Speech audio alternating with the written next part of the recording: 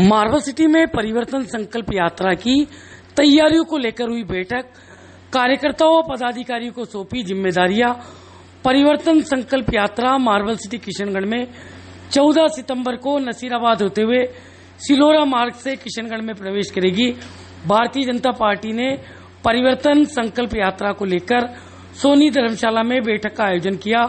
भाजपा जिला अध्यक्ष रमेश सोनी ने कहा कि किशनगढ़ विधानसभा क्षेत्र में भारतीय जनता पार्टी के केंद्र और प्रदेश भाजपा के वरिष्ठ नेताओं द्वारा 14 सितंबर को परिवर्तन संकल्प यात्रा निकाली जाएगी। किशन गोपाल दरगढ़ ने रूट चार्ज की जानकारी देते हुए परिवर्तन संकल्प यात्रा का किशनगढ़ प्रवेश में जहाँ स्वागत किया जाएगा, जानकारी दी गई। युवा मोर्चा द्वारा बाइक रैली निकालकर परिवर्तन संकल्प यात्रा को प्रवेश करवाया जाएगा। सांसद भागीरथ चौधरी ने पीएम मोदी के केंद्र सरकार के कार्य को यात्रा के माध्यम से बताया जाएगा। वहीं प्रदेश सरकार की नाकामियों को भी उजागर किया जाएगा।